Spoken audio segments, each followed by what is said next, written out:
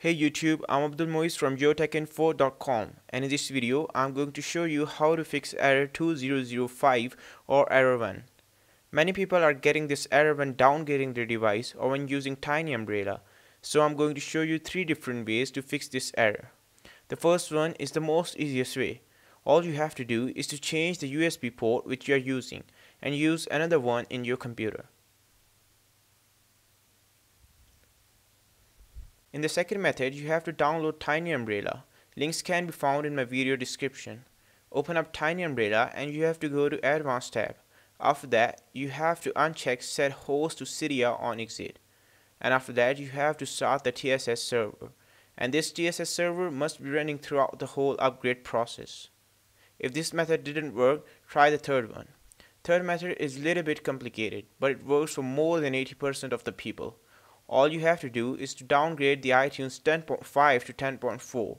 So downgrading your iTunes is really easy. All you have to do is to follow this easy procedure which I'm going to show you and you are good to go. So you have to go to my computer and then go to add or remove programs. After that you have to search for iTunes and you have to uninstall it.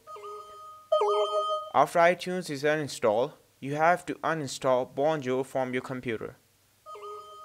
You have to search for Bonjour and uninstall it. Once Bonjour is completely uninstalled, you have to restart your computer. And then you have to download the accurate versions of iTunes for your computer.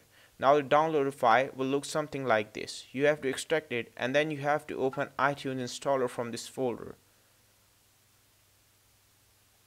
Then you have to install this iTunes in your computer. So I will return back after complete installation of iTunes. So now when your iTunes is installed, you will get some error, like the one you're seeing on the screen. So to fix this, you have to go to my computer and then music. After that, you have to go to iTunes. You have to copy this iTunes library file onto your computer desktop and now your iTunes will open normally and you will not get iTunes library not found ITL error. So you can see that this iTunes has opened normally and now you can restore your device and you will not get error 1 or error 2005. So that's pretty much it and as always be sure to comment, rate and subscribe and thanks to all for watching.